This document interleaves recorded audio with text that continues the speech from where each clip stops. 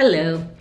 In this video, I'll show you how you can set up a pull request to prevent a merge from happening if the change contains a secret. I'm pretty sure that in most cases, you don't want a secret to be merged into the main branch of a repository. Let's just go straight into the demo. Here is a pull request. And this pull request contains a secret in the source branch. But don't worry, this is not an actual secret we use. It's just a random string in the format of a secret. Note that there is a report being shown here. It's called git secret scan and it also appears here in the context of the change itself. This report has been added by the git secret scan pipe, which is available in our pipeline. Let me show you. Here is our pipeline and uh, you can see that there is this pipe which is defined here. And this is a pipe that you can use in your own repositories with the syntax I just showed. This is the repo where you can find some more details about this pipe. On a pipeline execution, the pipe scans the repository files for hard-coded sensitive data and creates a security report. I'll post the link to this pipe and all the relevant links uh, in the video description so that you'll be able to set up the same behavior in just a few simple and quick steps. At this stage, there isn't a custom merge check set up for this repository, as you can see from the panel here on the right which is empty. And because there isn't a custom merge check set up, this pull request and the secret that is part of it could be merged into the main branch. So how do we add this merge check? It only takes a few minutes, probably even less than that. Here is a public repository with the source code that you can use to add this merge check. Behind the scenes, each custom merge check is defined as a Forge app.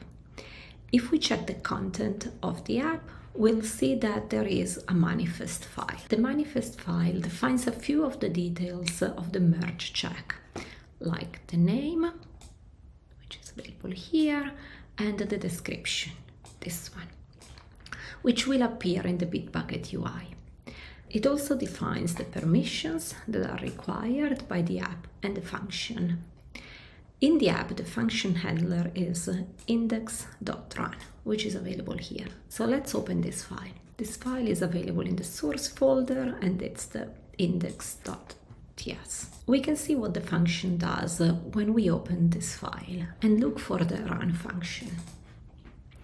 The merge check code is retrieving the pull request using the Bitbucket REST API. So this is where we are getting the pull request and this is the function where it's called. This step is required to retrieve the source commit hash, which is then used to check if there are any reports associated to that commit hash and this is done using another Bitbucket REST API. So this is the commit hash of the source branch, which we retrieved from the call we ran just a step before. And in this function, we are requesting the, the reports and the reports are retrieved using this other REST API. If there is at least one failed report for the secrets scan pipe, the run function will return false as success, which is here, and it will also add a message failed security reports found which will be displayed in the UI. Let me now show you how from this repository you can add the custom merge check to your repository. The first thing to do is to clone the repository. Let me grab the URL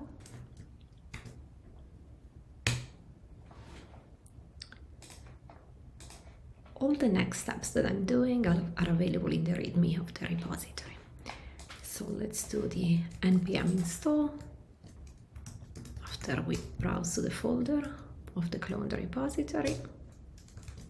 We now need to run the forge register command, which is used to register the app to your account so that you can manage it. Let's give the app a name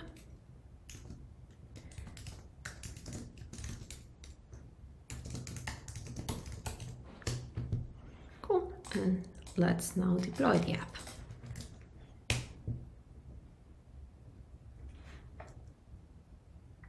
Now that the app has been deployed, let's install it in my workspace.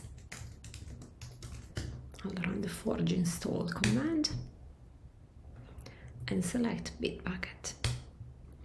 I now need to enter the URL of my Bitbucket workspace.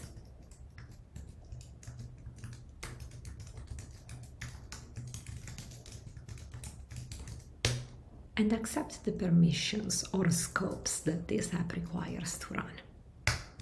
Okay, now that the app has been installed in my workspace, let's go back to the workspace and complete the setup by going to setup custom checks.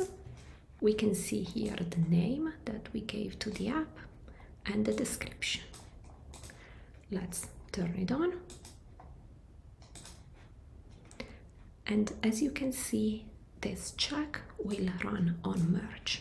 So let's go back to my workspace.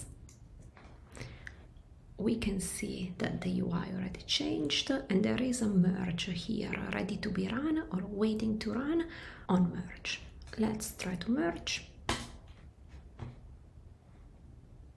We can see that the merge failed and that's because our merge check stopped our pull request from being merged. In just a few minutes, we solved a common compliance need with a custom merge check which prevents a pull request merge if the commit contains a secret. You can add this feature now to your workspace by following the steps I just showed you.